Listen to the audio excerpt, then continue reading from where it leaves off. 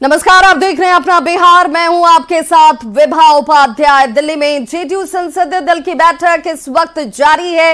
नीतीश कुमार के घर पर जेडीयू सांसदों का जुटान, जहाँ पर नीतीश का जेडीयू सांसदों से दिल्ली में मंथन चलता हुआ। सांसद रामप्रीत मंडल देवेश चंद्र ठाकुर इस बैठक में मौजूद हैं। साथ ही साथ आलोक कुमार सुमन के साथ दिलेश्वर कामैत बैठक में शामिल। जेडीयू सांसद सुनील कुमार भी इसी बैठक में मौजूद हैं।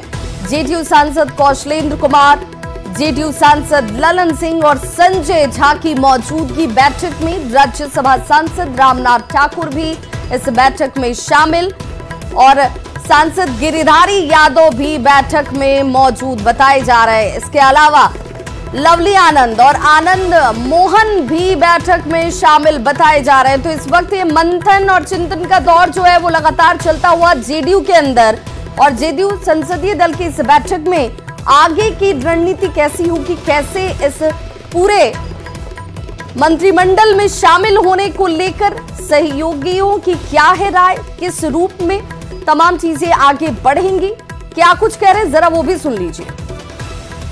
संसदीय दल का बैठक होगा एनडीए का उसमें जाना।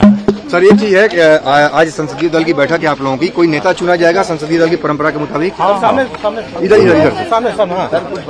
सर आज की बैठक में क्या होगा सर संसदीय दल के नेता का आज संसदीय दल के एनडीए की बैठक है।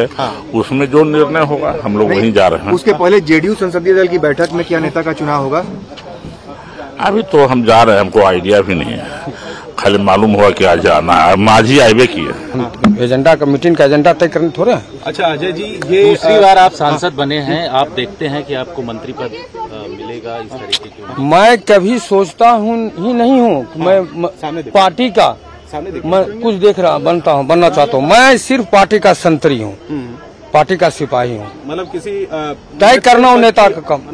जो नहीं किसी नहीं कुछ नहीं। मेरा नेता जो तय करेंगे मुझे वही स्वीकार है जो आदेश करेंगे जहाँ कहेंगे खड़ा होने के लिए वहीं खड़ा रहे आज की बैठक अजय जी क्या एजेंडा रहेगा? तीन ये चार सांसदों पे एक मंत्री की बात थी कि जेडीयू मैं इस, ये हमारे नेता बताएँगे मैं नहीं बता सकता हूँ कि क्या कौन मंत्री बनेंगे क्या मैडम लवली आनंद ने अपने अपनी जीत को शिवहर की महान जनता के नाम समर्पित वो कर चुकी है इसमें अब इफ़ बट नहीं। अब सीतामढ़ी और शिवहर दोनों सीट जेडीयू जीती है आप मांग कर रहे हैं कि वहाँ पर राम मंदिर की तर्ज पर सीता का मंदिर बने।